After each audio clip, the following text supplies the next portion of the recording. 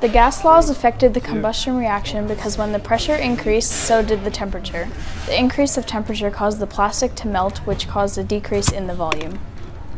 We inserted a cap with holes inside of the can to help build up the pressure, and when we lit the ethanol on fire, the gas had to push through a semi-permeable membrane which caused an increase in osmotic pressure.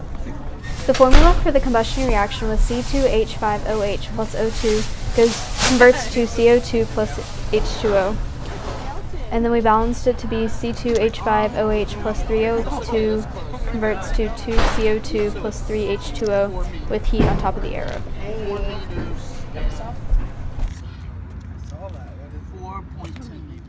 As you can see, part of the cannon melted. This happened because of the increase in temperature when the cannon fired.